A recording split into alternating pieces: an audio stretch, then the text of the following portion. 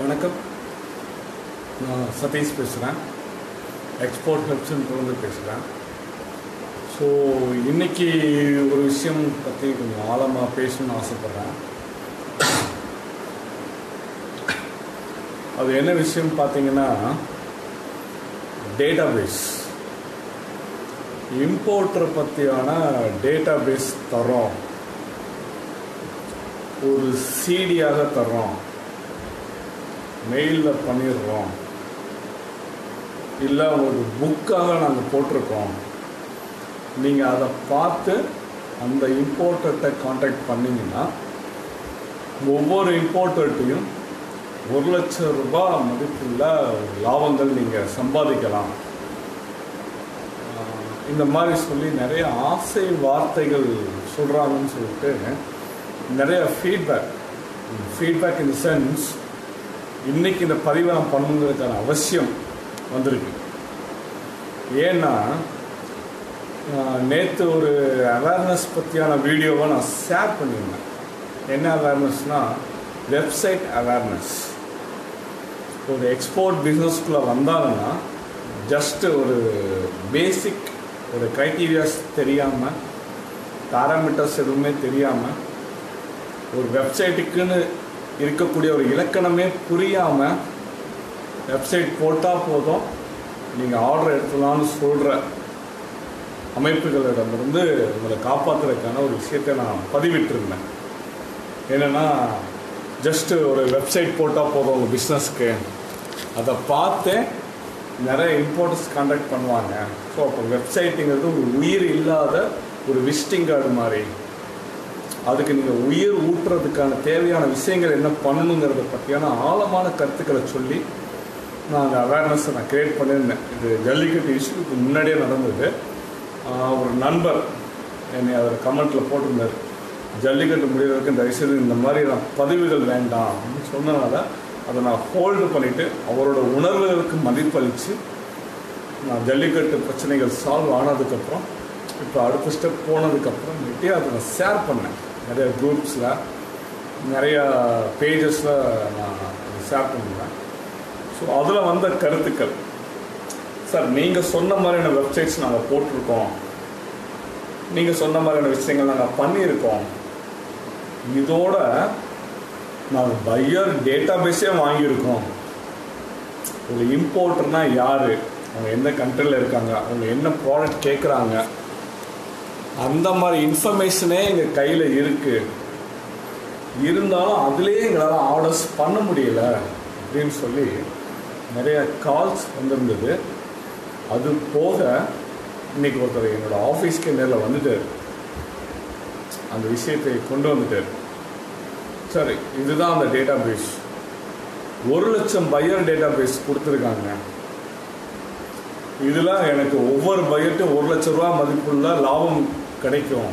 நீங்கள் பேசி கரெக்டாக நீங்கள் டேக்கிள் பண்ணிங்கன்னா அப்ரோச் பண்ணிங்கன்னா நீங்கள் சம்பாதிக்கலாம்னு சொன்னாங்க. ஸோ இதெல்லாம் எப்படி நான் பண்ணுறதுன்னு எனக்கு தெரியல ஐடியா இல்லை. ஏன்னா நான் பண்ணது ஒன் டே ட்ரைனிங் டிவியில் ஒருத்தர் பேசினார். ஸோ அதனால் நான் அதை வச்சுக்கிட்டு நான் இங்கே வந்திருக்கேன். இது நீங்கள் எனக்கு அடுத்த ஸ்டெப்புக்கு ஹெல்ப் பண்ண முடியுமா? எக்ஸ்போர்ட் ஹெல்ப் சென்டர்னு பேர் வச்சுருக்கீங்க எனக்கு ஹெல்ப் பண்ணுங்கன்னு வந்தார் நான் அந்த டேட்டா பேஸ்லாம் பார்க்குறோம் பேசுகிறோம் ஃபோனில் பேசுகிறவங்களுக்கு எக்ஸ்பிளைன் பண்ணுறோம் அவங்களுக்கு யாருக்குமே நான் சொல்கிற கருத்து புரிஞ்சுக்கிறதுக்கு பக்குவமே இல்லை. முதல்ல ஒரு விஷயம் தெரிஞ்சுக்கோங்க. ஒன் டே ட்ரைனிங்கில் நீங்கள் எதுவுமே லேர்ன் பண்ண முடியாதுங்கிறத ஆணித்தரமாக முதல் அவேர்னஸ் நான் சொல்லிகிட்ருக்கேன் இருக்கேன் நான் அது முடிச்சிட்டேன். அடுத்த ஸ்டேஜில் நான் நிற்கிறேன் ஸோ அதை முடிச்சுட்டு என்னோட அடுத்த ஸ்டேஜ்னால் நான் மிட் லெவல் வந்துட்டேன். நான் கொஞ்சம் அடுத்த ஸ்டேஜ் தாண்டிட்டேன். எனக்கு எக்ஸ்பிளைன் பண்ணுங்கன்னா இதுக்கு ஒரே பதில். நீங்கள் எக்ஸ்போர்ட்டும் இன்னும் முழுசாக கற்றுக்கல நீங்கள் சொல்கிற மிட் லெவல் இன்னும் வரல. நீங்கள் சொல்கிற அடுத்த ஸ்டேஜ் இன்னும் நீங்கள் படியெடுத்து நீங்கள் தாண்டி வைக்கிறதுக்கான ஸ்டெப்ஸ் எதுவுமே கிடையாதுங்க. லைசன்ஸ் எடுக்க தெரிஞ்சுக்கிட்டீங்க. ஒரு பேங்க்கில் அக்கௌண்ட் எப்படி ஓப்பன் பண்ணுறதுன்னு தெரிஞ்சுக்கிட்டீங்க. ஒரு export promotion council registration cum membership certificate RCMC பதிலைக்கு தெரிஞ்சுக்கிட்டீங்க. இதை மட்டுமே தான் நீங்கள் ஆழமாக தெரிஞ்சுக்கிட்டீங்களே தவிர இன்னும் நீங்கள் எக்ஸ்போர்ட்டை முழுசாக கற்றுக்கலை அதை விட்டுட்டு நான் எக்ஸ்போர்ட்டை கற்றுக்கிட்டேன் கற்றுக்கிட்டேன் நீங்கள் சொல்கிறதுல எனக்கு ஒரு பெரிய ஒரு உடன்பாடு இல்லை. ஏன் அப்படின்னு பார்த்தீங்கன்னா நான் சிம்பிளாக சொல்லி ஒரு விஷயத்த சொல்லணும்னு ஆசைப்பட்றேன். டேட்டா பேஸ் வாங்குறீங்க ரைட்டு இன்னைக்கு நான் ஃபோனில் பேசின ஒரு நண்பரோட ஒரு தோழரோட ஒரு விஷயத்தை நான் எடுத்துக்கலாம் அவர் ரொம்ப உணர்ச்சிபூர்வமாக பேசுகிறார் சார் நான் படித்தவன் நான் டிகிரி ஹோல்டர் அவங்க ஒன் டே ட்ரைனிங்கில் சொன்ன எல்லா விஷயமே ஐ கேன் அக்செப்ட் அவங்க சமூக நோக்கத்தோடு அவங்க பண்ணுறாங்க தான் சம்பாதிச்சா பத்தாது. அவங்க கூட ஒர்க் பண்ணுற ஒவ்வொருத்தவங்களும் அவங்க பார்க்குற ஒவ்வொருத்தவங்களும் அவங்க எக்ஸ்போர்ட்டரை மாற்றணும்னு ஆசைப்படுறாங்க. அப்படிப்பட்ட ஒரு விஷயம் அப்படிப்பட்ட ஒரு இடத்துல அவங்க தப்பான விஷயத்தை எனக்கு கொடுத்த மாதிரி சொன்ன மாதிரி தெரியல. சரியாக தான் தோணுது. அதனால் அந்த டேட்டா பேஸை பதினைந்தாயிரம் ரூபாய் ஃபிஃப்டீன் தௌசண்ட் ருபீஸ்க்கு அவர் வாங்கியிருக்காரு இதில் என்ன விஷயம் நீங்கள் தப்பாக இருக்கும்னு நினைக்கிறீங்க? நான் இன்றைக்கி I just going to try that அப்படிங்கிறது. நான் வாழ்த்துக்கள் சொல்லிட்டேன். நீங்கள் அதை ட்ரை பண்ணுங்கள் அந்த உங்கள் ட்ரைனர் சொன்ன மாதிரி ஒவ்வொரு டேட்டா பேஸும் நீங்கள் காண்டாக்ட் பண்ணுங்கள் ஒன் லேக் டேட்டா பேஸ் ஒவ்வொருத்தர்கிட்டையும் ஒவ்வொரு ஒவ்வொரு லேக் பிஸ்னஸ் ஒளிஞ்சிருக்குங்கிறாரு தான். அப்படின்னு சொல்லியிருக்காராம். நீங்கள் லட்ச லட்சமாக சம்பாதிக்க ஒரு விஷயம் அதை பற்றி சொல்லுங்கள் ஒரு சின்ன விஷயத்தை நான் ஹைலைட் பண்ண விரும்புகிறேன் இந்த டேட்டா பேஸுக்கு பின்னாடி இருக்கிற மறைமுகமான விஷயம் என்னங்கிறத நீங்கள் தெரிஞ்சுக்கோங்க. படித்தவங்க போயிருக்கீங்க. நீங்கள் படித்த ஒரு ஆள். அந்த ட்ரைனிங்கில் கிட்டத்தட்ட எண்பது பேர் அட்டன் பண்ணாங்கன்னு சொன்னார் அவர் சொன்னது அந்த எண்பது பேரில் ஒரு எட்டு பேர் படித்தவங்க போயிருந்தா கூட உங்களுக்கே ஒரு விஷயம் தோண மாட்டேங்குது. இந்த டேட்டா பேஸை எக்ஸ்போர்ட் நல்லா தெரியும் இந்த ட்ரைனருக்கு எக்ஸ்போர்ட்னா என்னங்கிறது அவர் தான் உங்களுக்கு சொல்லித்தராரு நீங்கள் எக்ஸ்போர்ட்டுக்கு புதுசு அவர் தான் சொல்லித்தராரு அதில் என்ன ப்ரொசீஜர் இருக்குது என்ன ஃபார்மாலிட்டிஸ் இருக்குது எப்படி நீங்கள் ஆர்டர் மெச்சூர் பண்ணுறது எல்லாம் பேசுகிறாரு ஃபைனலாக அந்த டேட்டா பேஸை ஃபிஃப்டீன் தௌசண்ட் ருபீஸ்க்கு அவர் விற்கிறாரு அந்த ஃபிஃப்டீன் தௌசண்ட் ருபீஸ்க்கு விற்கிற டேட்டா பேஸை ஏன் அவர் பதினஞ்சாயிரரூவாய்க்கு அதை விற்கணும் லட்ச ரூபா சம்பாதிக்கக்கூடிய பிஸ்னஸ் ஒளிஞ்சிருக்க ஒவ்வொரு பையர்கிட்டையும்னா ஏன் அது அவரே பேசக்கூடாது? அவர் ஒரு ட்ரைனர் தானே? அவர் ஒரு எக்ஸ்போர்ட்டர் தானே? ஏன் அந்த ஒரு லட்சம் டேட்டா பேஸை அவரே ஏன் யூஸ் பண்ணக்கூடாது? யாராவது படித்த ஒரு ஆள் டிகிரி ஹோல்டர் இல்லை விவரம் தெரிஞ்ச ஆள் இல்லை கொஞ்சம் பக்குவம் அடைஞ்ச ஆள் ஏன் நீங்கள் இந்த டேட்டா பேஸை ஏன் சார் நீங்களே யூஸ் பண்ணலாமே? இதை ஏன் வெளியே எங்கிட்ட கொடுக்குறீங்கன்னு யாராவது கேட்குறீங்களா ஏதாவது ட்ரைனிங்கில் யோசிச்சு பாருங்க. இங்கே பேராசை. ஐயோ ஒரு லட்சம் ரூபாய் சம்பாதிக்கக்கூடிய திறன் உள்ள ஒளிஞ்சிருக்குங்கிறாரு ஒவ்வொரு பையர்கிட்டையும். அப்போ ஒரு லட்சம் டேட்டா பேஸ் இருக்குது அப்போ ஒவ்வொருத்தவங்கிட்டையும் பேசினா அப்போ எவ்வளோ பிஸ்னஸ் ஒளிஞ்சிருக்கு? இது ஏன் நம்ம நைஸாக வாங்கிடக்கூடாதுன்னு ஒரு பேராசை. அதனால இந்த கேள்வி உங்களை கேட்க விடாமல் பண்ணியிருக்கு யாராவது ஒரு ஆள் திரும்ப கேட்டு பாருங்களேன். அப்போ அவர் வாயடைச்சுக்கோ ஒரு லட்சம் டேட்டா பேஸை கொடுக்குறாருன்னா அவர் அதை பயன்படுத்தலைன்னா அவர் பதினஞ்சு ரூபாய்க்கு அதை ஒரு வியாபாரமாக பார்க்குறாருன்னா அந்த சூட்சமத்தை நீங்கள் புரிஞ்சுக்கணும். அது உண்மையான டேட்டா பேஸா ஃபஸ்ட்டு கொஸ்டின் உங்களுக்கு வரணும். அது உண்மையிலே ரியலான டேட்டா பேஸாக இருந்தால் ஏன் அதை அவரே யூஸ் பண்ணி அவரே ஒவ்வொரு பையட்டையும் பேசி ஒவ்வொரு லட்ச ரூபா சம்பாதிச்சு ஏன் அம்பானிக்கு மேலே பெரிய ஆளை வளர்ந்துடலாமே? ஏன் அதை அவர் செய்ய மாட்டுறாரு ஏன் அதை அவர் செய்ய சொல்லி உங்களை தூண்டுறாரு? ஏன் அந்த புக்கையோ அந்த சிடியையோ அந்த இமெயிலையோ உங்களுக்கே அனுப்புகிறாரு யோசிக்கணுமா இல்லையா? படிக்காத ஆட்கள் வேண்டாம். பக்குவம் இல்லாத ஆட்கள் வேண்டாம். கொஞ்சம் விவரம் தெரியாத ஆட்கள்லாம் வேண்டாம். இது மூணும் இருக்கிற ஒரு ஆள் இந்த கேள்வியை கேட்கலாம்ல ஒரு ட்ரைனிங்கில் ஏன்னா பேராசை. ஒன்று ரெண்டாவது அப்படி அவர் கொடுக்குற சீடியோ அவர் கொடுக்குற புக்கோ அவர் அனுப்புகிற அந்த இமெயிலோ அந்த ஒன் லேக் பையர் டேட்டா பேஸை உங்ககிட்ட ஒரு பணம் வாங்கிட்டு ஐயாயிரமோ பத்தாயிரமோ இல்லை பதினஞ்சாயிரம் இருபதாயிரமோ எவ்வளோ ஒரு அமௌண்ட் அந்த டேட்டா பேஸை உங்களுக்கு மட்டும்தான் கொடுக்குறாரா? யோசிச்சு பாருங்க. ஒரு ட்ரைனிங்க்கு minimum fifty to hundred peoples உட்கார வைக்கிறாங்க இன்னைக்கு. மினிமம் ஃபிஃப்டி டு ஹண்ட்ரட் அதோட மினிமம் அப்போ மேக்ஸிமம் பார்த்துக்கோங்க. அப்போ எத்தனை பேர் உட்காடுறாங்க ஒரு ட்ரைனிங்கில் இவங்க எல்லாருக்குமே அந்த புக்கை கொடுக்குறாங்களா இல்லையா? நிறைய பேர் இருக்காங்க இன்னைக்கு மதுரையில் இத்தனாவது பேட்ச் ஆரம்பிச்சு பண்ணிகிட்ருக்கேன் இருக்கேன். சென்னையில் இத்தனாவது பேட்ச் எனக்கு ஓடிட்டுருக்கு திருச்சியில் இத்தனாவது பேட்ச் ஓடிட்டுருக்கு கோயம்புத்தூரில் இத்தனாவது பேட்ச் ஓடிட்டுருக்கு அப்போ ஒவ்வொரு பேட்சுக்கும் மினிமம் ஃபிஃப்டி மெம்பர்ஸ் வச்சுக்கோங்க இது வரைக்கும் ஒரு ஹண்ட்ரட் பேட்சஸ் ஒரு ஃபைவ் ஹண்ட்ரட் பேட்சஸ் ஒரு தௌசண்ட் பேட்சஸ் இத்தனை வருஷம் நடத்துகிறவங்க அந்த புக்கை விற்றோ அந்த சிடியை விற்றோ இல்லை அந்த ஒரு டேட்டா பேஸை ஒரு மெயில் அனுப்பியோ எவ்வளோ சம்பாரிச்சிருப்பாங்க? யோசிச்சு பாருங்க. அப்போ இது ஒரு ஆளுக்கு போய் சேருதா? அந்த ட்ரைனிங் அட்டன் பண்ணுற ஒவ்வொரு ஆளுக்கும் போய் சேருது. உண்மையான டேட்டாவாகவே அது இருக்கட்டும். ஹண்ட்ரட் பர்சன்ட் ஃபேக் கிடையாது. உண்மையான டேட்டா பேஸாகவே இருக்கட்டும். அந்த இம்போர்ட்டரை எப்படி கான்டாக்ட் பண்ணுறாங்க அவர் என்ன ப்ராடக்ட் டீல் பண்ணுறாருங்கிற கூட சில டேட்டா பேஸில் இல்லை. அவர் வந்து ஏதோ ப்ராடக்ட் இம்போர்ட் பண்ணுறாருன்னு மட்டும்தான் இம்போர்ட்டராக மட்டும்தான் அடையாளப்படுத்தி காட்டுறாங்க அப்படி காட்டுற டேட்டா பேஸை ஒரு எக்ஸாம்பிள் எடுத்துக்கிறேன். ஒரு அயன் ஸ்டீல் இம்போர்ட் பண்ணுறது அவர்கிட்ட போய் ஒரு படிக்காத ஒரு ஆள் தக்காளி வேணுமான்னு கேட்குது ஒரு விவரம் தெரியாத ஒரு ஆள் நான் டவல் பண்ணுறேன் வேணுமான்னு கேட்குது இன்னும் ஒரு ஆள் வேற ஏதாவது ப்ராடக்ட்டை ஹெல்ப் பண்ணி கேட்குது நல்லா யோசிச்சு பண்ணலாம் அது உண்மையான டேட்டாவாகவே இருந்தாலும் பல பேர் கைக்கு போகிறனால பல பேர் அந்த டேட்டாவை யூஸ் பண்ண ஆரம்பிக்கிறாங்க. அப்படி யூஸ் பண்ணும்போது என்ன ஆகுதுன்னா அவர் என்ன ப்ராடக்ட் இம்போர்ட் பண்ணுறாங்கிறது நீங்கள் இம்பார்ட்டன்ஸ் கொடுக்காம நீங்கள் என்ன ப்ராடக்ட் எக்ஸ்போர்ட் பண்ணுறதுக்கு எடுத்துருக்கீங்களோ அதை நீங்கள் மார்க்கெட் பண்ண ஆரம்பிச்சிருங்க அப்போ அவருக்கு எப்படி ஃபீல் ஆகும்? இப்போ ஃபார் எக்ஸாம்பிள் நீங்கள் ஒரு வியாபாரம் பண்ணுறீங்க ஒரு ஏதாவது ஒரு மெடிக்கல் ஷாப் வச்சுருக்கீங்க. ஸோ நான் உங்கள்கிட்ட வந்துட்டு சார் தக்காளி ஒரு அரை டன் வேணுமா? வாங்கிக்கிறீங்களான்னு கேட்குறேன் லாஜிக்கலாக இருக்காது அது? என்ன நினைப்பீங்க? என்ன ரிப்ளை பண்ணுவீங்க?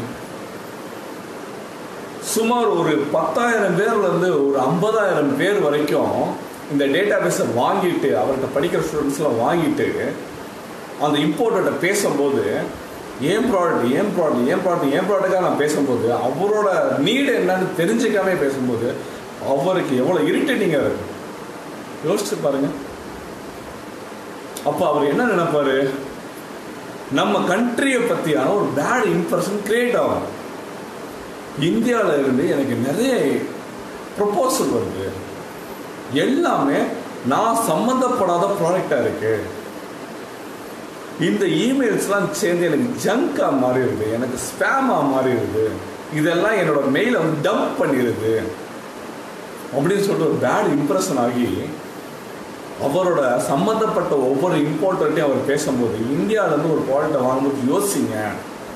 இப்படி அணத்துறாங்க இப்படி தொந்தரவு பண்ணுறாங்க நம்ம என்ன பண்ணுறோங்க தெரிஞ்சுக்காமே அவங்க பேசுகிறாங்கன்னு சொல்லிட்டு ஒரு பேட் இம்ப்ரெஷன் கிரியேட் ஆகி எக்ஸ்போர்ட் குறையுது.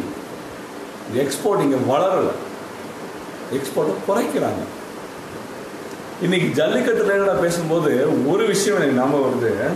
இந்த கொக்கோ கோலா இந்த பெப்சி இந்த அதர் கண்ட்ரி ப்ராடக்ட்ஸ் யூஸ் பண்ணாதீங்கிறாங்க இந்த அதர் கண்ட்ரி ப்ராடக்ட்ஸ் யூஸ் பண்ணுறதுனால மட்டும் நம்மளோட அடையாளம் மறையலை.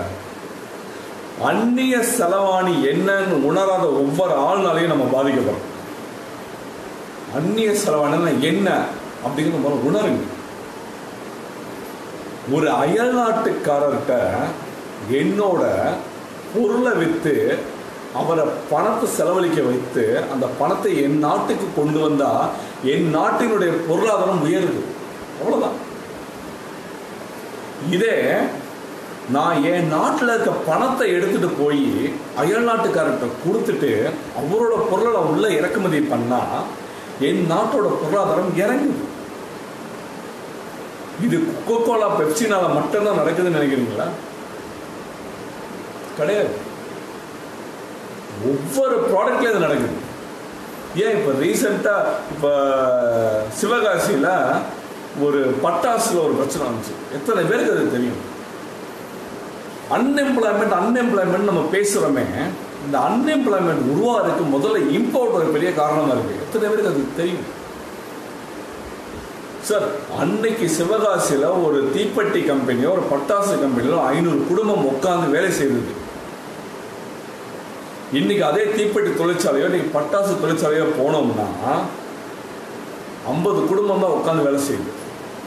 மீதி எல்லாம் மெஷினரி ஆட்டோமேஷன்ஸ் ஏன் அந்த மெஷினரி இம்போர்ட் பண்ணுறதுனால இங்கே நானூற்றி ஐம்பது குடும்பம் இங்கே பாதிக்கப்படுதுன்னு தெரியலையா? இங்கே அந்த பொருளை இம்போர்ட் பண்ணுறோமா இந்த பொருளை இம்போர்ட் பண்ணுறோமா அது அயல்நாட்டிலேருந்து வருதா? இது அயல்நாட்டில் வருதான்னு பார்க்காதீங்க. பொதுவாக இம்போர்ட்டேஷனில் இருக்க பிரச்சனைகளை உணருங்க. இம்போர்ட் பண்ணாலே நம்ம நாட்டு காசை அடுத்த நாட்டுக்கு நம்ம தாரவாத்து கொடுக்குறோம். அப்போ இது வெறும் பெப்சி கொக்கோ மட்டும் கிடையாது. எல்லா பொருள்களையும் இருக்குது இன்னைக்கு ஒரு இந்தியன் கம்பெனி ஒரு பென்ட்ரைவ் இன்னைக்கு ஒரு கண்டுபிடிச்சு இன்னைக்கு பென்ட்ரைவ் இன்னைக்கு மார்க்கெட் பண்ணோம்னா அந்த பென்ட்ரைவோட cost twenty rupees hundred rupees five hundred rupees சைனாலேருந்து அதே ப்ராடக்ட்டை நான் இம்போர்ட் பண்ணால் எனக்கு வெறும் ஏழு ரூபா. ரெண்டு ரூபா. பத்து ரூபாய்க்கு கிடைக்கும் இன்னைக்கு எத்தனை பேர் அதை டூப்ளிகேட் பண்ணுறாங்கன்னு தெரியுமா?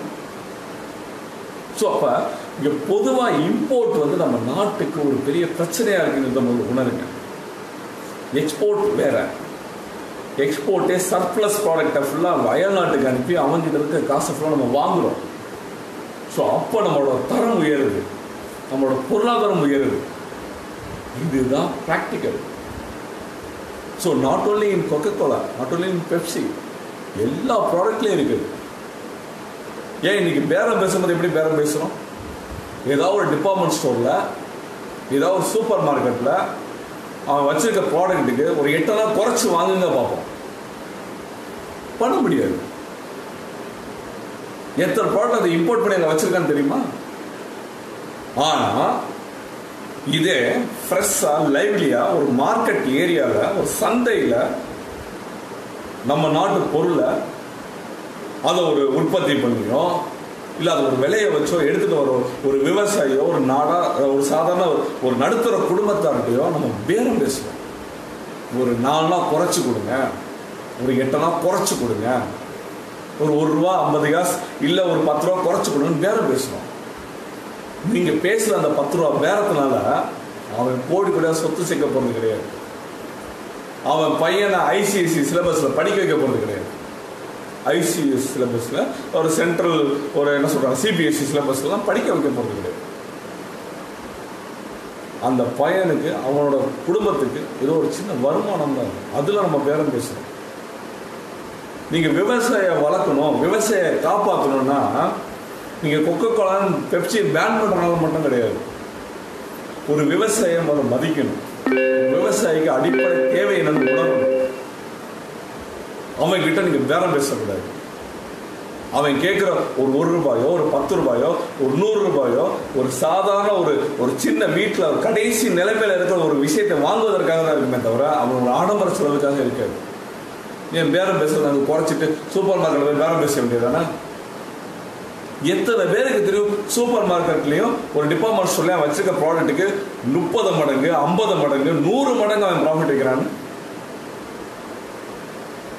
ஒரு கத்திரிக்காயிலையோ ஒரு தக்காளிலையோ ஒரு வெங்காயத்திலையோ நீங்கள் நூறு மடங்கு ப்ராஃபிட்டை வச்சு ஒருத்தன் விற்க முடியுமா இன்னைக்கு? It's open market government announce பண்ணிடுறாங்க.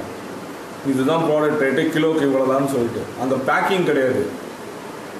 அங்கேயும் பேரம் பேசுகிறோம் ஸோ இந்த மாதிரி நிறைய லாஜிக் இல்லாமையே நம்ம சில விஷயங்களை பார்க்க ஆரம்பிச்சிடும் அதனாலேயே நிறைய பேர் பாதிக்கப்படுறாங்க. அந்த பாதிப்புலேருந்து வெளியே வரணும்னா முதல்ல நம்ம உண்மை என்னென்னா அலசி ஆராயணும். ரைட் சப்ஜெக்ட் இல்லை. ஸோ ஒரு டேட்டா பேஸ் கொடுக்குறாங்கன்னா முதல்ல அவங்க ஏன் யூஸ் பண்ண மாட்றாங்கன்னு முதல்ல ஒரு கேள்வி கேளுங்க. அதில் நிறைய விஷயம் அடங்கியிருக்கு. ஏன்னா அது போலியான டேட்டா பேஸ் இதே டூ தௌசண்ட் ஃபோர்டீன் எண்டில் எனக்கு ஒரு லேடி வந்தாங்க. அவங்க கொண்டு வந்த டேட்டா பேஸில் அவங்க போட்டிருந்த விஷயம் பார்த்துட்டு என்கிட்ட கேட்குறாங்க சார் இந்த ப்ராடக்ட் இவங்க டீல் பண்ணுறாங்க இவங்க கிட்ட நான் ஆர்டர் பண்ணிட முடியுமா? மெச்சூர் பண்ணலாமா? அப்படின்னு. நான் அந்த டேட்டா பேஸில் பார்க்குறேன். பேர் ஃபாத்திமா. பாகிஸ்தான். பாகிஸ்தானோட ISD code Fatima two something Gmail அந்த மாதிரி ஏதோ இமெயில் நடுவில் தத்தநெறி அட்ரஸ் இருக்கு. தத்தநெறிங்கிறது இங்கே மதுரையில் இருக்கிற ஒரு சுடுகாடோட பேர். அந்த தத்தநெறி சுடுகாடுக்கும் அந்த ஃபாத்திமாங்கிற பாகிஸ்தானில் லேடிங்க லேடிக்கும் என்ன சம்மந்தம் என்ன ரிலேஷன்ஷிப்னு எனக்கு தெரியல. நான் உங்களுக்கு ஹைலைட் பண்ணுறேன் மேடம் இது வந்து தப்பாக தெரியுது. இந்த டேட்டாவே தப்பு. இது அவங்களே கிரியேட் பண்ணியிருப்பாங்க. இது ஃபேக் அப்படின்னு சொன்னால் அவங்க ஏற்றுக்க முடியல. ஏன்னா அது ஒரு பத்தாயிரம் ரூபாய் கொடுத்து வாங்கிட்டாங்க. நான் வாங்கின பத்தாயிரம் ரூபா ரூபா கொடுத்து மதிப்புள்ள அந்த ப்ராடக்ட்டு அந்த ஒரு டேட்டா பேஸு அது கண்டிப்பாக ஏதோ ஒர்த் இருக்கும். நீங்கள் தப்பாக சொல்லிட்டீங்கன்னா என்ன ஒரு நிமிஷம் பார்க்குறாங்க எனக்கு வேதனையாக இருக்கு. ஒரு ஃபேக்கான ஒரு டேட்டாவை ஒரு இன்ஃபர்மேஷனை கொடுத்து ஒரு மக்களை ஏமாத்துறாங்க. பல பேர் யூஸ் பண்ணி ஒரு உண்மையான டேட்டா பேஸ் கூட அது ஸ்பேமாக மாற்றுறாங்க அது ரியலைஸ் பண்ணுங்க சரி ரைட்டு உண்மையான டேட்டா பேஸ் உண்மையான கம்பெனி நெட்டில் தேடினா கூகுளில் தேடினா அந்த கம்பெனி கிடைக்குது. பாரு ரிஜிஸ்டர் பண்ணிருக்காங்கன்னு சொன்னால் இன்னைக்கு அந்த கம்பெனி ஆக்டிவாக இருக்குன்னு எத்தனை பேர் செக் பண்ணுறீங்க அந்த இமெயிலுக்கு படம் எத்தனை பேர் பதில் வரும் செக் பண்ணுறீங்க நம்ம போட்டுட்டோம். ரிப்ளை வருதான்னு எத்தனை பேர் வெயிட் பண்றீங்க? கிடையாது.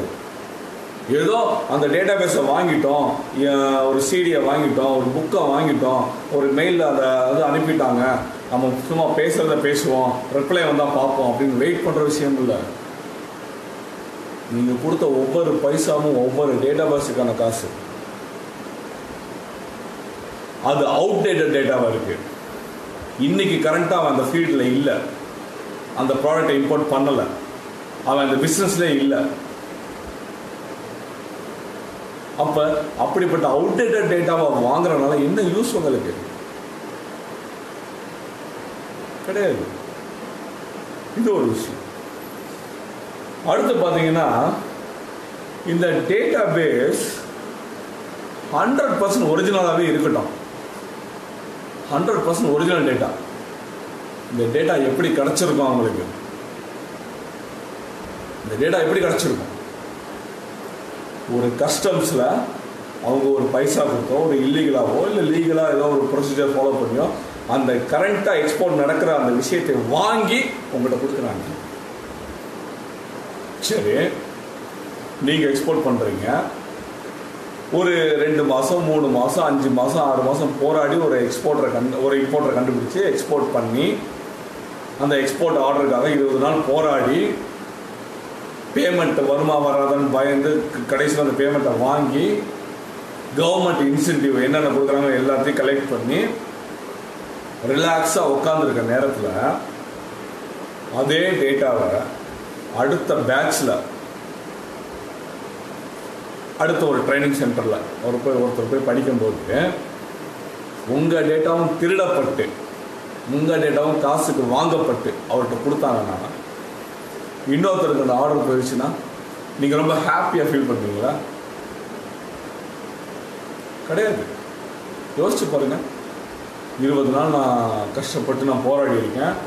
இருபத்தஞ்சு நாள் முப்பது நாள் நான் அந்த ஆர்டருக்காக நான் மெனக்கிட்டுருக்கேன் என் வேர்வை இருக்குது என் ரத்தம் இருக்குது என் உழைப்பு இருக்குது என்னோட மெனக்கெடுதல் இருக்குது எல்லாத்தையும் தாண்டி நான் அதோடைய கனவாக நான் வச்சுருக்கேன்.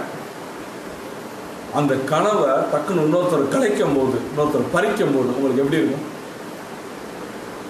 இதை நான் ஏன் அதி ஒரு அதிகமாக ஒரு ஒரு ஒரு உணர்வோட சொல்கிறேன்னா நல்லா யோசிச்சு பாருங்க.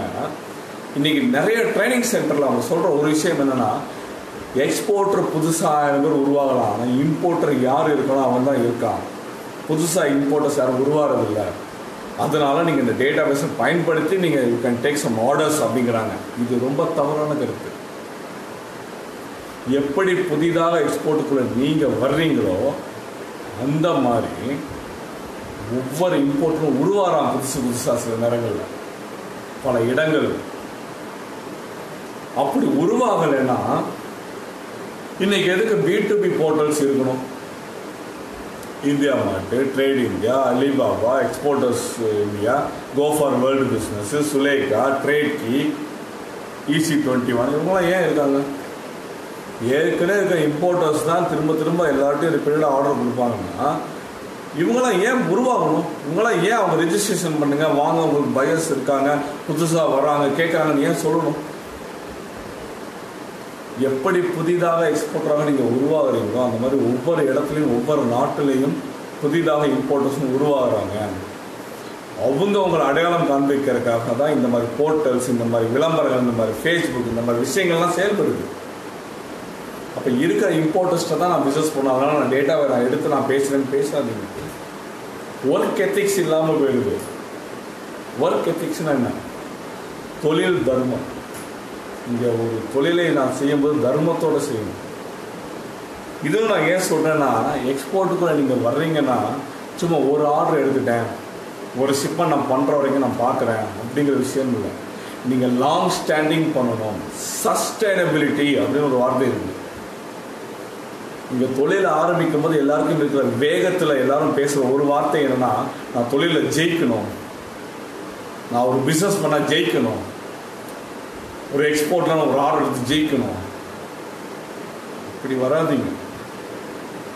இங்கே ஒரு தொழிலை நான் ஆரம்பித்தா அதில் நிலையா நிற்கணும்னு வாங்க. நான் மூணு வருஷமாக தான் அதை சஸ்டைன் பண்ணணும். ஒரு பத்து வருஷமாக நான் அதில் இருக்கணும். ஒரு அஞ்சு வருஷமாக நான் நிற்கணும் அப்படின்னு நினச்சி வாங்க. அப்போ தான் உங்கள் பிஸ்னஸ்க்கு ஒரு அர்த்தம் இருக்குது சும்மா எல்லாரும் பண்ணுறாங்க நானும் பண்ணுறேன் ஒரு ஆர்டர் பண்ணாலும் போதும் எனக்கு அப்படிங்கிற நினைப்போட வந்தீங்கன்னா உங்களுக்கு வேணால் அந்த மாதிரி ஒரு ஆர்டர் திருடியோ இல்லை ஒரு ஒரு ஆளோட ஒரு எக்ஸ்போர்ட்டோட ஒரு இம்போர்ட்டரை ஐஸாக எடுத்தோ பண்ணலாம். லாங் ஸ்டாண்டிங் பண்ண முடியாது. நல்லா யோசித்து பார்த்தீங்கன்னா அப்படி நீங்கள் எடுக்கிற டேட்டா பேஸில் இருந்து வர்ற ஒரு என்கொயரியோ ஒரு பையரையோ அடுத்த பேட்ச்சில் அதே டேட்டா பேஸ் அடுத்த ஒருத்தர் தெளிவாக யூஸ் பண்ணாருன்னா அதே கிளைண்ட் அவுட் போயிடுவார். உங்களோட ஒரு பத்து பைசாவோ இல்லை ஐம்பது சென்ட்ஸோ பத்து சென்ட்ஸோ குறைச்சி கொடுத்து அங்கே போயிடுவார். அவர் ரோமிங்லேயே இருப்பார். இங்கே நிறைய பேருக்கு சொல்கிற ஒரு விஷயம் தான் ஏற்றுமதி தொழிலுக்குள்ளே வர்றவங்க எல்லாருமே வியாபாரம் மட்டும்தான் பண்ணுறாங்களே தவிர யாரும் அவங்களோட ரிலேஷன்ஷிப்பை வளர்க்கணும் ஒரு பாண்டிங் ஏற்படுத்தணும்னு நினைக்கிறதே இல்லை. பிஸ்னஸ் எல்லாருமே பேசுவாங்க. வியாபாரம் எல்லாரும் பேசுவாங்க.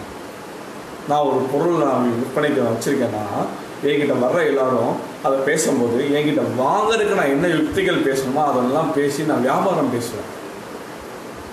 இவருக்கு கொஞ்சம் ஒரு துளியளவு சந்தேகம் வந்தால் இதே மாதிரி இன்னொருத்தர் போய் கேட்பார் அவரும் அதே வியாபாரத்தை பேசுவார். அவர் தான் கரெக்டு அவர் தான் நியாயம் என்கிட்ட தான் குவாலிட்டி என்கிட்ட தான் கம்மி எல்லாமே பேசுவார். அவர் மேலே டவுட் ஆகி இன்னொருத்தர் எடுத்துட்டு போனால் அவரும் அதே தான் பேசுவார். அப்போ இங்கே எல்லாருமே என்ன பேசுகிறோம் பிஸ்னஸ் பேசுகிறோம் வியாபாரம் பேசுகிறோம் நீங்கள் ஒரு கிளைண்ட்ட என்றைக்குமே வியாபாரம் பேசாதீங்க. ரிலேஷன்ஷிப் பேசுங்க. ஒரு பாண்டிங் கிரியேட் பண்ணுங்க. இந்த ரிலேஷன்ஷிப் பாண்டிங்கிறது என்ன? என்கிட்ட பொருளை வாங்கணும்னு ஹைலைட் பண்ணாதீங்க. என்கிட்ட பொருளை வாங்க உங்களுக்கு என்ன நன்மைகள்ங்கிற அவங்களோட ஃபியூச்சர்ஸை பேசுங்க. என் கூட ஒர்க் பண்ணுறக்கு இன்னைக்கு நீங்கள் உள்ளே வந்தீங்கன்னா எத்தனை வருஷம் நீங்களாலும் சேர்ந்து பிஸ்னஸ் பண்ணுவோம் எப்படி கொண்டு போக போகிறோம்னு பேசுங்க. அது அதர் தன் பிஸ்னஸ் இங்கே அது இருந்தால் மட்டும்தான் ஒவ்வொருத்தவங்களும் இந்த பிஸ்னஸ் சஸ்டைன் பண்ண முடியும். இன்னொரு பெஸ்ட் எக்ஸாம்பிள் ஆ இது கண்டிப்பாக தான் பகிர்ந்தே ஆகணும். ஒரு ஐயா வந்தார். ஒரு மெயில் எடுத்துகிட்டு வர்றாரு. ஒரு பிரிண்ட் அவுட் எடுத்துகிட்டு வர்றாரு. ஏன்னா இன்றைக்கெல்லாம் இன்றைக்கி அப்படி தான் ஆகி போச்சு. டிவியில் உட்காந்து ஒரு பிரிண்ட் அவுட் எடுத்தோம். இன்றைக்கி லெட்டர் எழுதியோ இன்னைக்கு அப்படி சொன்னாங்க இப்படி சொன்னாங்கன்னொடனே எல்லாருக்கும் கன்ஃபியூஸ் ஆயிருக்கு அவங்க பண்ணியிருக்காங்க நம்ம பண்ண முடியாதா? இவர் படிப்பை எல்லாம் இவர் பண்ணியிருக்காங்க நம்ம பண்ண முடியாதுன்னு சொல்லி ஒரு ஆர்வத்தில் எல்லாம் பேச ஆரம்பிச்சிடும் இதே டேட்டா பேஸை ரொம்ப நம்பி இதுதான் லைஃப்னு நினச்சி சிக்ஸ் மந்த்தாக ஆறு மாதமாக அதை ரொம்ப செயல்படுத்தி பார்த்து அதில் ஒரு ரிசல்ட் எடுத்துணும்னு கஷ்டப்பட்டு ஒரு ஐயா பார்த்துட்டு அவர் என்கிட்ட அந்த டேட்டாபேஸ் கொண்டு வர்றாரு. தம்பி ஒரு ரிப்ளை வந்திருக்கு. இதுக்கு எனக்கு என்ன பதில் சொல்லன்னு தெரியலை. பெருசாக பேசியிருக்காங்க நிறைய பேசியிருக்காங்க. இந்த மெயிலை கொஞ்சம் படித்து சொல்லுங்கன்னா அதை படித்து பார்க்கும்போது எனக்கு வேதனை. ஃபஸ்ட்டு லைனில் எனக்கு புரிஞ்சிருச்சு. மெசேஜ் டெலிவரி வந்து ஃபெயில் ஆயிடுது ஃபெயிலியர் நோட்டிஃபிகேஷன் வந்திருக்கு. அந்த இமெயில் ஐடி இல்லை அப்படின்னு மெயில் பவுன்ஸ் ஆகி ஒரு எரர் மெசேஜ் வந்துருக்கு. எரர் மெசேஜ் எப்பயுமே சில கோடிங் சிஸ்டமேட்டிக்காக காட்டும். அது பார்த்தீங்கன்னா பிரிண்ட் அவுட் எடுத்தால் ரெண்டு பேஜ் இல்லை அஞ்சு பேஜ் போனால் கூட அதில் பெரிய விஷயம் இல்லை. அப்போ ஒரு மூணு பக்கத்துக்கு பிரிண்ட் அவுட் இது வந்துட்டு இந்த மூணு பக்கத்துக்கு இருக்கிற மெசேஜுக்கு என்ன பதில் சொல்ல கேட்குறாரு. நான் அவர்கிட்ட சொல்கிறேன் ஐயா இது அவர் ரிப்ளை போடலை. இந்த மெயில் இல்லை டெலிவர் ஃபெயில்டுன்னு வந்திருக்கு. அதனால இது தப்பான டேட்டாவாக தெரியுது. சரியில்லை. இந்த மெயில் சரியில்லை தப்பு அப்படின்னு அவர் எனக்கு சொன்ன விஷயம் என்ன தெரியுமா? அதுதான் என்ன? ரொம்ப கோவப்படுத்து நீங்கள் படித்த பையனாக இருக்கீங்க சின்ன பையனாக இருக்கீங்க நீங்கள் எனக்கு உதவுவீங்க ஹெல்ப் பண்ணுவீங்கன்னு வந்தால் மெசேஜ் ஃபெயில் ஆகிருக்கு அந்த இமெயில் இல்லைன்னு சொல்லிட்டு ஏதோ ஒன்று சொல்கிறீங்க நான் ஆர்டர் எடுத்துடக்கூடாதுன்னு நினைக்கிறீங்க. இதோ பொறாமப்படுறீங்க. நான் வேற யார்கிட்டயா கேட்டுட்டு நான் பண்ணிக்கிறேன் போகிறாரு எவ்வளோ வேதனை இது. எவ்வளோ பெரிய அறியாமை இது. இந்த அறியாமையை எத்தனை பேர் பயன்படுத்துகிறாங்க ம்? யோசிச்சு பாருங்க. சார் இன்னைக்கு டிவியில் பேசுகிறாரு இன்னைக்கு புக்கு புக்காக எழுதியிருக்காரு இன்னைக்கு பெரிய ஆளாக இருக்காரு அப்படின்னு சொல்கிறாங்க எக்ஸ்போர்ட்டில் நீங்கள் பார்த்தீங்களா ஓப்பனாக சொல்கிறேன் இப்படி பேசுகிற ஒவ்வொரு ஆளும் கையில் அஞ்சு லட்ச ரூபா ரெடி பண்ணிக்கோங்க. நாளைக்கு நீங்கள் சன் டிவியில் உட்காந்து நீங்கள் பேசலாம். ஜேஆர் டிவியில் உட்காந்து நீங்கள் பேசலாம். கலைஞர் டிவியில் உட்காந்து நீங்கள் பேசலாம். அஞ்சு லட்ச ரூபா இருந்தால் போதும். ஒரு நாளைக்கு ஒரு மணி நேரம் மேனிக்கு ஒரு மாதத்துக்கு உங்களுக்கு ஸ்லாட் கொடுக்குறான். நீங்கள் பைசா பே பண்ணி நீங்கள் உங்களோட சுய விளம்பரத்துக்காக நீங்கள் டிவியில் உட்காந்து பேசலாம்.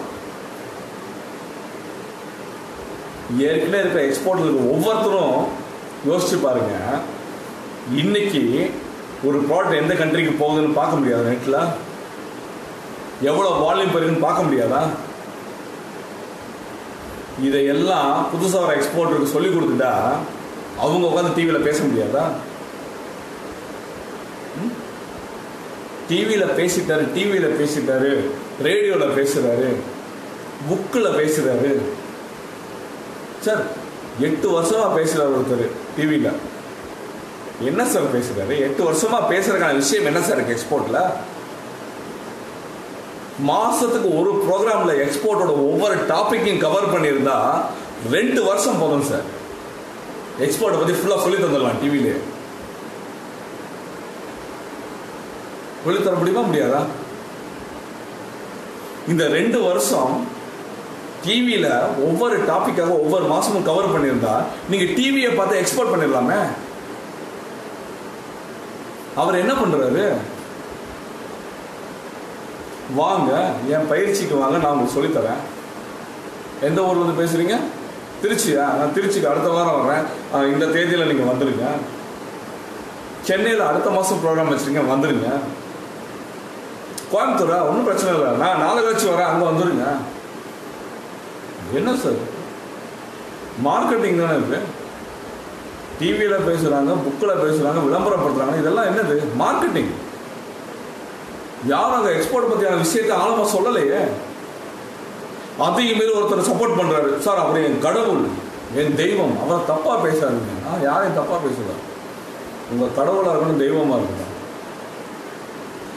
இன்னைக்கு ஒரு ப்ரெக்னன்சி ப்ரெக்னன்சியாக இருக்கிற ஒருத்தவங்களுக்கு ஒரு ஆப்ரேட் பண்ணியோ இல்லை ஒரு ஒரு நார்மல் டெலிவரியோ எப்படி பண்ணுறதுன்னு இன்னைக்கு யூடியூப்பில் போட்டிருக்கான்.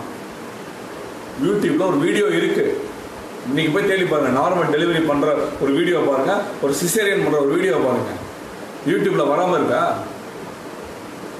வருது.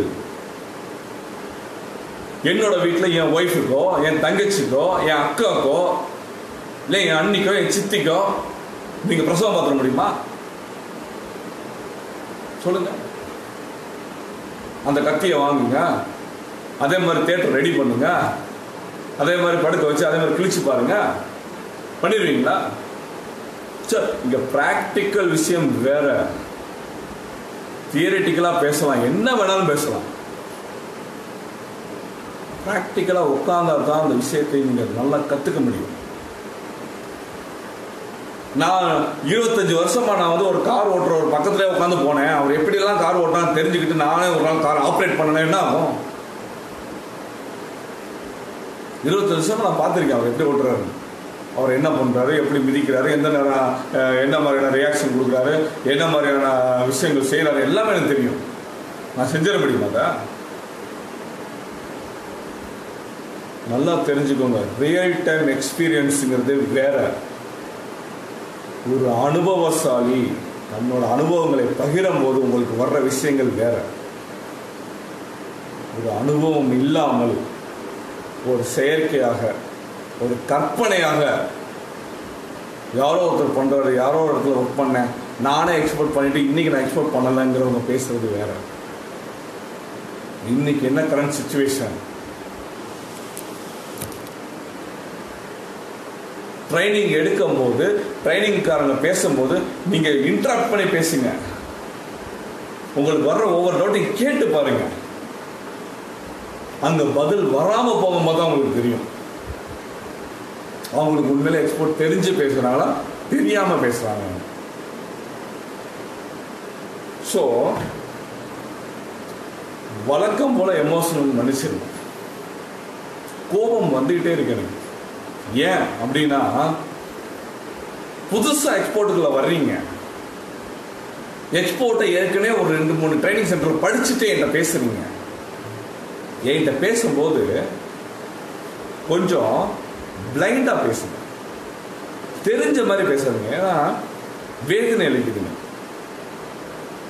எக்ஸ்போர்ட்டுக்குள்ள வந்து எக்ஸ்போர்ட்டில் ஒவ்வொரு விஷயத்தையும் நுணுக்கமாக செயல்படும் போது என்ன மாதிரியான பிரச்சனைகள் ஃபேஸ் பண்ணுறீங்கன்னு உங்களுக்கு தெரியாது. சார் நான் ரெண்டு வருஷம் கஷ்டப்பட்டிருக்கேன். நான் கொஞ்சம் படிச்சிருக்கேன். எனக்கு கொஞ்சம் கம்ப்யூட்டர் கொஞ்சம் டாக்டிஸ் தெரியும். நான் கொஞ்சம் சில இடங்களில் வேலை பார்த்துருக்கேன். நான் உட்காந்து ப்ராக்டிக்கலாக நான் தட்டும் போது எனக்கு பிரச்சனை வருது. பிரான்ச் ஸ்டேட்மெண்ட் எட்டரை லட்ச ரூபா என்கிட்ட ஒருத்தர் திருடி இருக்கான் ஆன்லைனில் இதே எட்டரை லட்ச ரூபா உங்கள்கிட்ட திருடனா உங்களோட எமோஷன் என்ன? உங்கள் ரியாக்ஷன் என்ன? எப்படி ஹேண்டில் பண்ணியிருப்பீங்க அந்த ஆர்டரை இன்னைக்கு நான் எக்ஸ்போர்ட் விட்டு வெளியே போல. இன்னைக்கு நான் எக்ஸ்போர்ட் விட்டு வெளியே போகவே இல்லை. நான் அதே பையர்கிட்ட இன்னமும் நான் எயிட் இயர்ஸாக நான் ஒர்க் பண்ணிட்டு இருக்கேன். புதுசாக வர்ற படிக்காத கம்ப்யூட்டர் தெரியாத ஒரு ஒரு பேசிக் எஜுகேஷன் லெவல் இல்லாத இங்கிலீஷ் தெரியாத எப்படி பண்ணுவீங்க? டேட்டா பேஸை வாங்கினா பண்ணிட முடியுமா? எப்படி பண்ணுவீங்க? டேட்டா பேஸே வந்துருச்சு. உங்க சப்ளைட்ட போய் பேசுறீங்க ரேட்டு செட் ஆகல. இல்ல உங்களுக்கு ரேட் வைக்க தெரியல பிரைசிங் தெரியல நீங்க கோட் பண்றீங்க. என்ன நடக்கும்? நீங்க கமிட் பண்ணிட்டீங்க. பண்ண முடிஞ்சல அந்த கிளைண்ட் கம்யூனிகேஷன் கட் பண்றீங்க. அங்க இருக்கிற ஒவ்வொரு இம்போர்ட்டையும் உங்களுக்கு கெட்ட பேர் ஆக்கிடுவான் இந்தியாவில் இருக்கிற இந்த கம்பெனி கிட்ட பேசாத. அவனுக்கு ப்ரைஸிங் ஒர்க் ஒர்க் அவுட் பண்ண தெரியல. அவனுக்கு வந்து அடுத்த ஸ்டெப் எப்படி பண்ணணும்னு தெரில ஹீஸ் எ சீட் ஃபெல்லோ அப்படிமா உங்கள் கம்பெனி பேரே போச்சு. அந்த கண்ட்ரிலேருந்து ஒரு என்கொயரி வராது இனிமே. ஏன் சார் ஓடணும்? இன்னைக்கு இன்னைக்கு ஒரு பதினஞ்சு இருபது பேர் எனக்கு ஃபோன் பண்ண எனக்கு கோவம் வருது.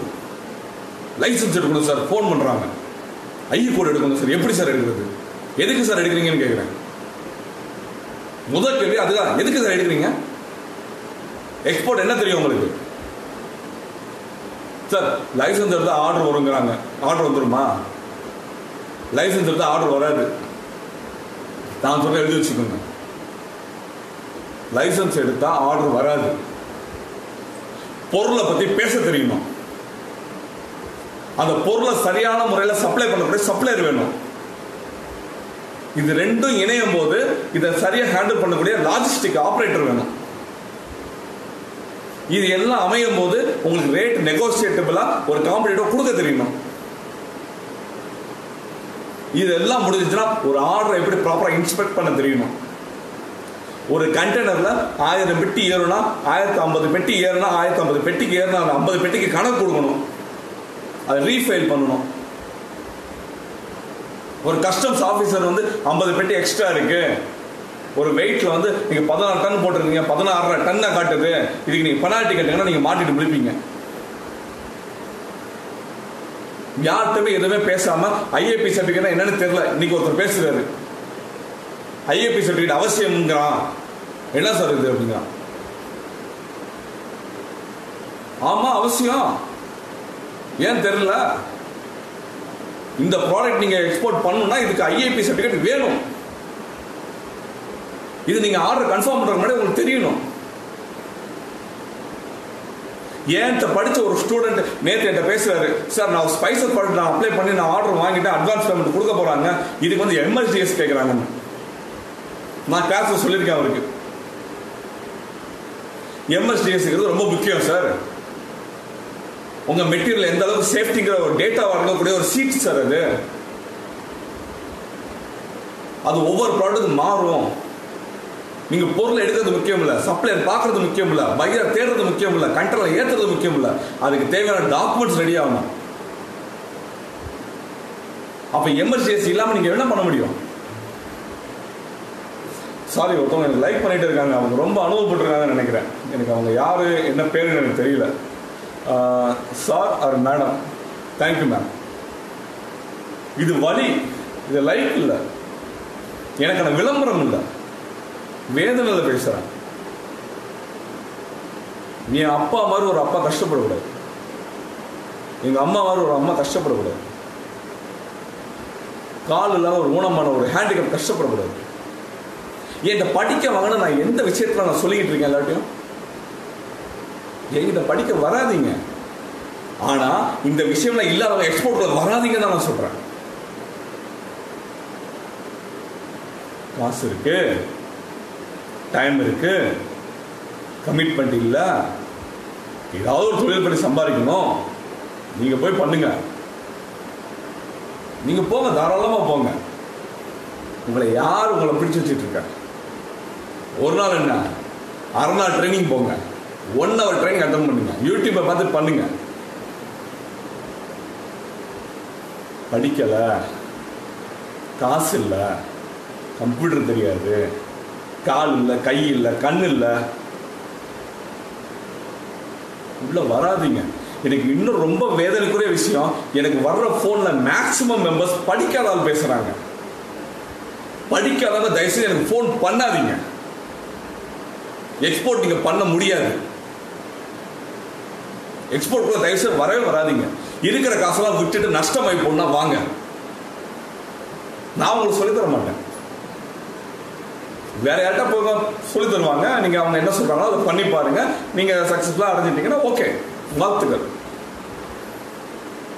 காசை இழக்காதீங்க. திரும்ப திரும்ப நான் ஒரு விஷயம் சொல்றேன். தெரியாத தொழில தொட்டவனு கிட்டான் தெரிஞ்ச தொழில விட்டவனு கிட்டான். தெரியாத தொழில் தொடணும்னா தெரிஞ்சுக்க முயற்சி பண்ணுங்க. தெரிஞ்சுக்காமே உள்ள வராதீங்க.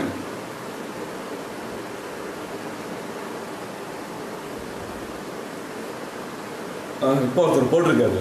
Sibi Vignesh great practical learning for an MBA student sir தவறாக எடுத்துக்காதீங்க. நீங்கள் எம்பிஏ படிக்கிறீங்க நான் அக்செப்ட் பண்ணிக்கிறேன். எம்பிஏ ஸ்டூடெண்ட்டுக்கு இது சரியான ஒரு தொழில். நான் ஏற்றுக்கிறேன் but without a real time experience யாராலையும் பண்ண முடியாது சார் சஸ்டெயின் பண்ண முடியாது சார் பண்ணலாம். சஸ்டெயின் பண்ண முடியாது. சஸ்டெயினபிலிட்டினா என்ன சார் பேருக்கு ஒன்று பண்ண ரெண்டு பண்ண தூக்கி போடுறதா? கிடையாது. உங்களை மாதிரி எம்பிஏ படிச்ச ஸ்டூடெண்ட்ஸ் இதை நல்லா தெரிஞ்சுக்கிட்டு உள்ள வரணும். நீங்க இந்திய பொருளாதாரத்தை தூக்கி நிப்பாட்டுவீங்க. படிக்காதவங்க தூக்கி நிப்பாட்ட முடியாது. கம்ப்யூட்டர் தெரியாத தூக்கி நிப்பாட்ட முடியாது. சார் இன்னைக்கு ஐநூறு ஆயிரம் செல்லாதுன்னு சொன்னப்ப எத்தனை படிச்ச ஸ்டூடெண்ட்ஸு வெளி உலகம் தெரியாத ஸ்டூடெண்ட்ஸை எப்படி எடுக்க தெரியாமல் நின்னாங்க தெரியுமா? படிச்சிருந்தா போதும்னு நினைக்கிறோமா? வெளி உலகம் ப்ராக்டிஸ் பண்ணணும். வெளி உலகம் தெரியணும். வீட்டுக்குள்ள பத்தாவது பதினொன்றாவது காலேஜ் வரைக்கும் பூட்டி பூட்டி வளர்ந்த பசங்க பிள்ளைகள்லாம் வெளியே வந்தால் என்ன பண்ணணும்னு தெரியாது. ஒரு சாதனாளர்கிட்ட பேசவே தெரியாது.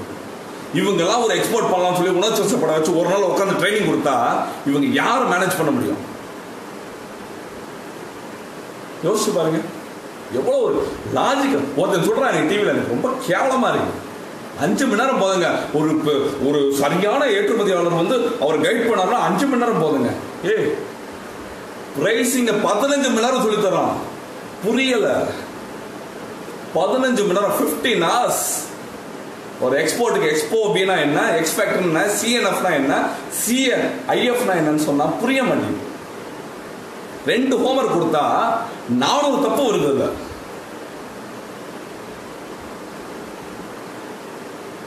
ஒரு சிஹெச் எக்ஸ்பென்சஸ் வந்து இருபத்தி எட்டாயிரம் சொன்னா ஒரு காட்டனுக்கு எத்தனை கண்டுபிடிந்தோம்னா தெரிய மாட்டேங்குது.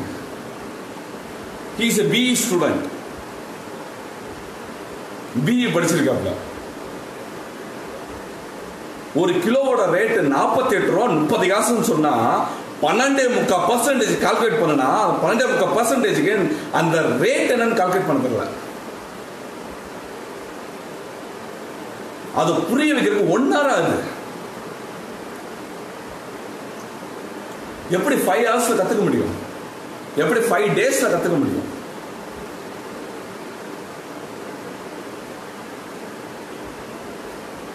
ஸோ ரொம்ப சாரி நான் ஒவ்வொரு வீடியோலையும் ரொம்ப எமோஷனல் ஆகக்கூடாதுன்னு நினைக்கிறேன். அது முடிய மாட்டேங்குது. எனக்கோ கொஞ்சம் இனிமேல் கொஞ்சம் அர்த்தமுள்ள விஷயமா என்கிட்ட பேசுங்க. படிக்காதவங்க தயவு செய்து இந்த வீடியோ பார்த்துட்டு இல்லை இந்த வீடியோ தயவு செய்து நான் ஷேர் பண்ணுங்க. படிக்காதவங்களால எக்ஸ்போர்ட் பண்ண முடியாத உணர்த்துங்க. சார் நான் வெறும் அவேர்னஸ்க்காக மட்டும் தான் சார் இதை உருவாக்குறேன் ஜஸ்ட் கம் வித் அனதர் இன்னொரு வீடியோவில் வரேன் நான் ப்ளீஸ்